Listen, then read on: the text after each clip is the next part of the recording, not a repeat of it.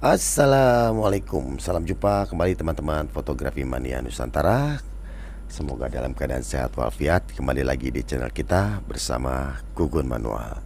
Oke teman-teman dalam kesempatan kali ini Kita mendapati kiriman dari salah satu Pendukung berat nih Dari uh, channel kita nih Ya dari Muara Enim nih teman-teman nih.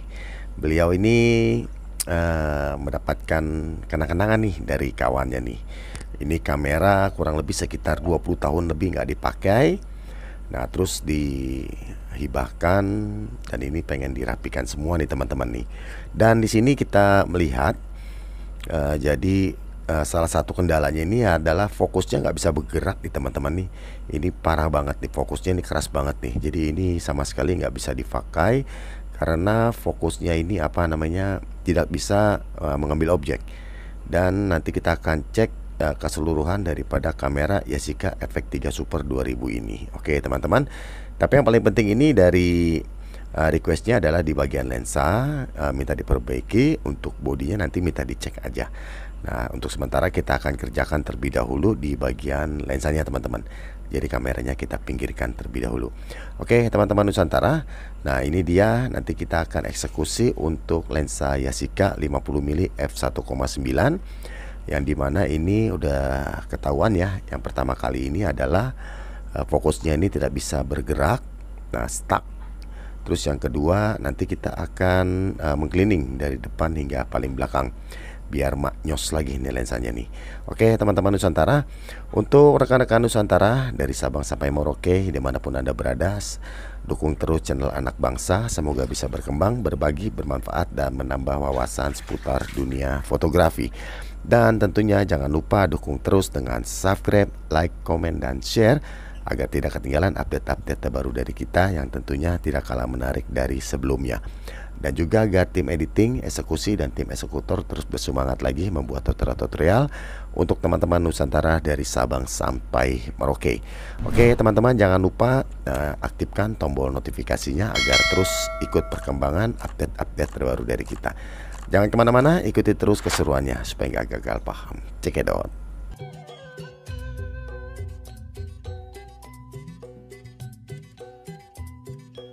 Oke teman-teman Nusantara Ini kita sudah mulai mengoprek-ngoprek uh, lensa Yasika ML50mm f1,9 nya nih Dan kita amati di sini Kayaknya dari bagian belakang ini sih biasa-biasa aja nih teman-teman nih. Kayaknya tidak terjadi sesuatu. Namun untuk pastinya nanti kita akan bongkar di bagian pegangan fokusnya nih teman-teman. Jadi pegangan fokusnya ini sangat berpengaruh. Nah jadi uh, ini lebih memudahkan kita untuk mengetahui bagian dalam atau jeroan dari lensa uh, Yasika ini teman-teman nih.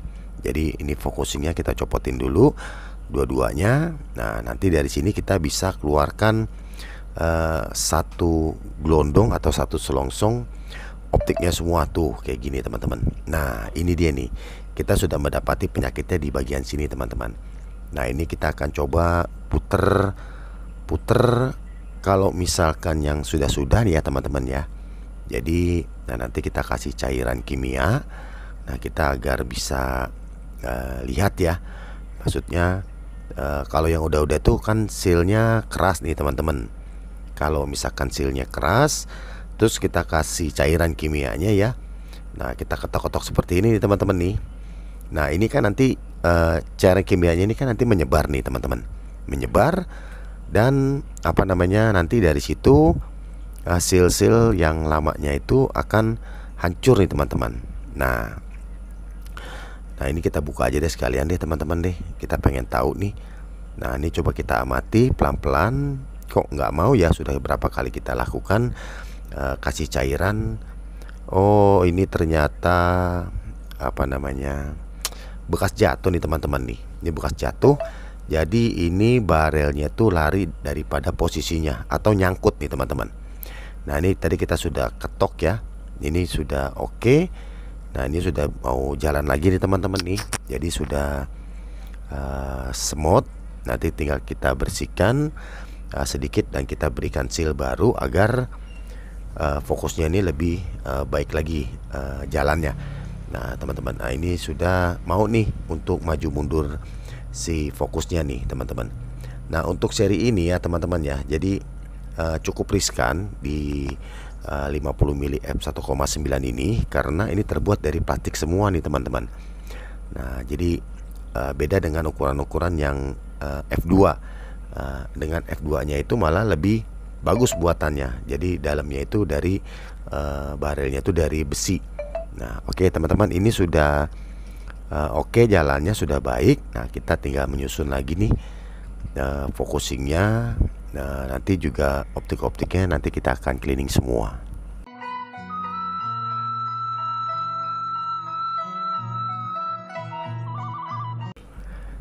Oke teman-teman Nusantara. Nah kalau sudah seperti ini nih teman-teman nih ceritanya nih Udah dibongkar-bongkar kayak gini nih. Ini ya, yang pasti ya Ini nanti kita akan kalibrasi lagi fokusnya teman-teman. Jadi kalau nggak dikalibrasi lagi fokusnya Nanti yang ada itu uh, Fokus jauhnya itu tidak dapat Atau tidak dapat infinity. Untuk fokus jauhnya itu nggak sampai. Nah jadi ini nanti uh, Kita akan setel fokus lagi. Nah jadi untuk pemasangan ini Eh, fokus ini ini nggak paten teman-teman. Jadi setengah paten lah. Nah jadi nanti dibongkar pasang bongkar pasang lagi untuk cari infinity-nya. Kalau misalkan uh, ini tidak setel di sini di bagian ini kita tidak setel uh, untuk infinity-nya jadi jaraknya itu tidak akan dapat. Nah jadi setelannya ada di sini teman-teman. Nah jadi untuk teman-teman uh, Nusantara yang mempunyai lensa kebetulan sama dengan yang lagi kita uh, bedah ini ya si KML 50 mili f 1,9 nah tapi yang mudah-mudahan nggak nggak pada posisi yang uh, bekas jatuh ya teman-teman ya. Karena nah, itu sangat riskan sekali. Nah ini sudah berjalan dengan baik nih teman-teman fokusnya kita udah setel. Nah ini nanti penyetelan awal tuh seperti ini. Dan ini nanti akan dilakukan penyetelan kedua untuk uh, mengetahui titik infinity-nya nah jadi nanti uh, dipasang dulu nih optik-optiknya. Setelah kita cleaning nanti kita masukin lagi ke rumahnya. Dan itu harus benar-benar uh, presisi teman-teman. Nah ini ribetnya di situ nih. Jadi nggak nggak segampang yang teman teman-teman kira ya tinggal buka masukin lagi puter-puter kelar nggak nah ini nanti ada setelan-setelannya lagi teman-teman nih agar semuanya bisa mendapatkan uh, jarak fokus yang uh, baik atau kembali semula. Nah ini dia nih kita masukin. Nah ini pas kita masukin ini teman-teman Nah tadi pegangan fokusnya tuh jangan sampai uh, terlewat ya. Nah jadi harus diingetin nih Pegangan fokusnya tuh di mana gitu kan? Kalau misalkan nanti salah Nah itu nanti ke bagian diaframanya yang berpengaruh teman-teman. Pengaruhnya seperti apa? Jadi pengaruhnya itu nanti di setiap bukaannya itu tidak bisa berfungsi Karena uh, pegangannya berbeda. Pegangannya berbeda terus uh, lari daripada posisinya. Nah ini kita coba setel untuk sementara. Nah nanti ini akan dibongkar lagi. Nanti kalau misalkan infinity-nya kurang teman-teman. Nah ini kita pasang dulu uh, untuk sementara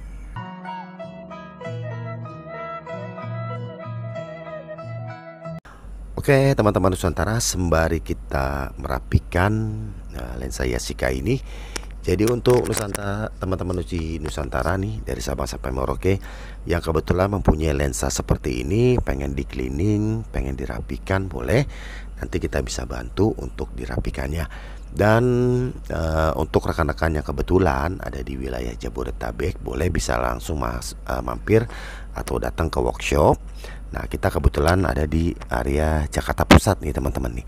Jadi uh, dari dari Jabodetabek nih Nah, bisa langsung mampir ke workshop kita. Nah, nanti melihat langsung eksekusinya juga silakan. Nah, nanti eh, apa yang nanti kita akan bisa bantu untuk teman-teman Nusantara nanti bisa masuk ke kolom komentar nanti kita akan berikan alamatnya. Nah, seperti itu. Dan untuk teman-teman di luar Jabodetabek nggak usah berkecil hati. Nah, seperti yang satu ini rekanan kita uh, ini dikirim dari uh, Muara Enim Nah, ini dikirim dari Muara Enim. Jadi nanti alamatnya untuk teman-teman Nusantara yang di luar Jabodetabek nanti kita bisa kirimkan alamatnya untuk uh, pengiriman uh, barang yang nanti kita akan uh, bantu untuk uh, memperbaikinya. Oke, teman-teman. Nah, ini kita coba untuk mengcleaning di bagian optik depannya nih, teman-teman nih. Ini bagian depannya kita cleaning, tadi bagian belakangnya sudah kita buka. Nah, ini uh, coba kita buka di bukaan F atau bukaan terbesarnya nih, teman-teman. Jadi tidak ada halingan-halingan dari diaframanya. Oke, teman-teman. Nah, untuk teman-teman Nusantara, jadi untuk mengcleaning optik itu uh, jadi harus memakai water cleaning yang terbaik nih teman-teman nih. Nah, jadi ada beberapa water cleaning itu uh, yang bisa merusak uh, coating. Jadi coating itu adalah zat warna yang nempel pada uh, optik lensa. Nah, jadi ada warna biru, warna merah, orange dan sebagainya itu adalah coating. Nah, itu yang nyerap warna nih teman-teman nih. Nah, kalau misalkan teman-teman salah obat biasanya itu si coatingnya itu jadi rusak. Nah ini sangat disayangkan ya teman-teman ya. Nah jadinya harus water cleaningnya yang terbaik. Terus memakai kapasnya juga adalah kapas yang terbaik. Nah jadi baiknya itu seperti apa teman-teman? Nah jadi bilang Om pakai kapas kosmetik bagus nggak? Bagus. Tapi buat kosmetik bukan buat optik. Nah Om ada kapas luka, kapas P3K bagus nggak? Bagus. Buat orang luka, bukan buat uh, optik. Nah, seperti itu. Jadi ada beberapa kapas itu yang uh, bagus pada fungsinya tapi uh, kurang tepat untuk dipakai di lensa, teman-teman. Nah, jadi kita sendiri ini pakai kapasnya ada kapas operasi, teman-teman. Nah, dokter aja pakai kapas operasi itu bukan pakai kapas luka atau kapas mayat. Jadi kapas khusus operasi. Nah, inilah kapas yang kita pakai, teman-teman.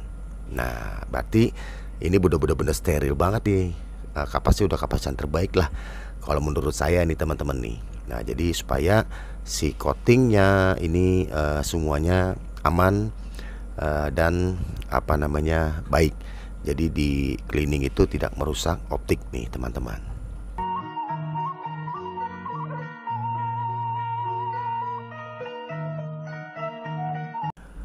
Oke teman-teman Nusantara Nah ini kita sudah uh, pastikan ya jadi setelah dirakit kembali, nah ini teman-teman harus memastikan untuk uh, diaframanya ini sudah presisi. Nah, jadi takutnya waktu dibongkar dipasang nggak presisi ya itu nanti jadi uh, bongkar pasang bongkar pasang dan ini harus benar-benar diteliti nih sebelum semuanya dibaut-baut sampai kencang nih teman-teman. Nah, ini bagian belakang sudah kita cleaning dan pemasangan untuk ring diaframa serta uh, pegangan diaframa untuk blade shutter diaframanya ini atau blade diaframa ini sudah uh, oke, okay, maksudnya sudah presisi semua.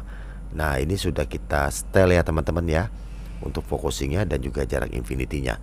Nah, ini untuk bagian uh, optik depannya sekarang uh, tinggal kita cleaning nih teman-teman.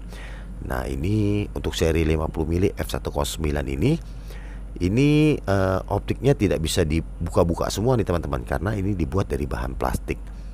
Nah jadi yang repotnya itu kalau misalkan fogging tapi masih bisa diperbaikin. Jadi teman-teman yang punya lensa Yasika uh, untuk seri yang fogging itu biasanya di 50 f1,9 50 f2 itu biasanya fogging dan itu masih bisa kita perbaiki nih teman-teman. Jadi nggak usah terlalu khawatir. Nah, jadi ada beberapa juga. Nah, kemarin kita bikin konten itu malah parah banget coatingnya sampai sudah apa ya namanya? Kalau saya bilang itu udah parah banget lah. Itu 20 tahun lebih nggak dipakai dan penyimpanannya juga uh, sangat ekstrim ya. Gitu. Ya, naruhnya sembarangan, jadi panas, dingin. Nah, mengakibatkan uh, sampai fogging. Nah, oke okay, teman-teman, ini uh, sudah kita cleaning bagian depannya dan sudah celing ya. Nah ini tinggal satu lembar lagi yang paling depan. Kita akan cleaning nih teman-teman nih. Nah ini uh, kita cleaning sampai benar-benar bersih. Nah paling kalau misalkan sudah saking lamanya nih uh, teman-teman ya. Jadi uh, tidak dipakai sampai sekitar 20 tahun lebih seperti lensa ini. Itu kalau dia coatingnya uh, tidak fogging paling itu paling-paling nih teman-teman ya. Itu apa cleaning mark lah. Jadi ada beberapa coating yang angkat. Nah itu sih wajar lah. Tapi masih uh, baik untuk dipakai eh, foto-foto. Uh, nah ini sudah hampir selesai. Nah tinggal sedikit lagi pemasangan. Nanti uh, kita akan lihat hasil uh, perbaikan. Untuk lensa Yasika 50 mm f1,9 ini focusingnya uh, yang tadinya tidak bisa berfungsi dengan normal atau tidak bisa uh, memfokus dan juga optiknya itu uh, berantakan banget dah. Jadi jamurnya banyak banget. Nah ini sudah hampir selesai teman-teman.